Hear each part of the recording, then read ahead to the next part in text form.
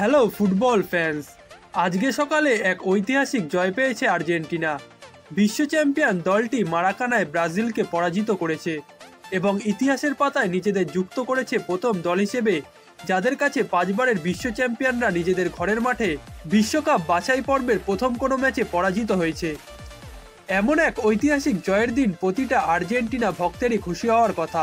তবে ম্যাচ শেষে লিওনেল স্কলনির এক মন্তব্যই যেন সব খুশি কেড়ে নিয়েছে আর্জেন্টিনার প্রতিটা ফুটবলার ও তাদের ভক্তদের।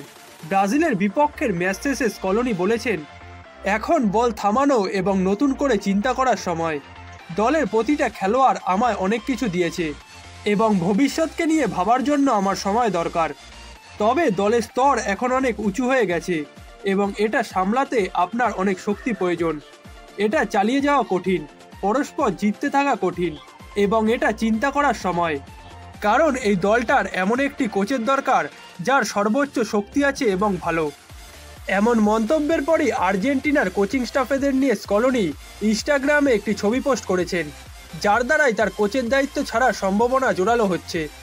আর্জেন্টিনার জনপ্রিয় সাংবাদিক গাস্তনেদুল জানিয়েছেন, মূলত এএফএ প্রেসিডেন্ট তাপিয়ার সঙ্গে অন্তর্বর্তীকালীন কিছু ঝামেলা কিংবা চুক্তির বিষয়ে কিছু জিনিসে একমত না হওয়ায় তিনি আর কোচের পদে থাকতে চাইছেন না। এমনকি লিওনেল স্কলনি যে কোনো বিষয় নিয়ে রেগে আছেন, সেটা আর্জেন্টিনার ফুটবলাররা বুঝতে পারছিল। আর্জেন্টিনা দলের অধিনায়ক ও লিওনেল স্কলনির প্রিয় বন্ধু লিওনেল মেসি অবশ্য স্কলনির মন্তব্য নিয়ে কোনো কথা বলেননি। তবে দলের দুই সেন্টার ব্যাক নিকোলাস ওটামেন্ডি ও ক্রিশ্চান রোমেরো এই ব্যাপারে কথা বলেছেন। ব্রাজিলের বিপক্ষের ম্যাচের পর আর্জেন্টিনার হয়ে একমাত্র গোল করা নিকোলাস ওটামেন্ডি বলেছেন, আমরা আপনাদের মতোই তথ্য পেয়েছি।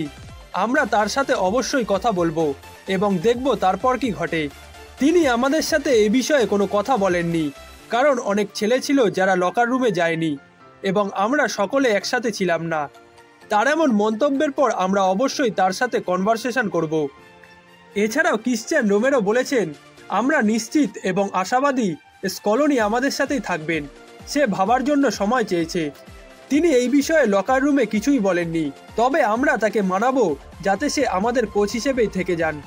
এমনটাই বলেন আর্জেন্টিনা দলের দুই সেন্টার ব্যাক ক্রিশ্চিয়ান রোমেরো ও নিকোলা সোটামেন্ডি তবে লিওনেস কলোনি যদি সত্যি দু হাজার চব্বিশ কোপা আমেরিকার আগে কোচের পথ ছাড়েন, তাহলে বড় ধাক্কা খাবে ডিফেন্ডিং চ্যাম্পিয়ন আর্জেন্টিনা। এবং অবশ্যই দলটির ইতিহাসের সবচেয়ে সফলতম কোচ এইভাবে বিদায় নেবে, সেটা কখনোই কেউ চাইবে না। তাই পরবর্তী ইন্টারন্যাশনাল ব্রেক শুরু হওয়ার আগে মেসিদেরই স্কলনিকে কোচের পদে থেকে যাওয়ার জন্য রাজি করাতে হবে।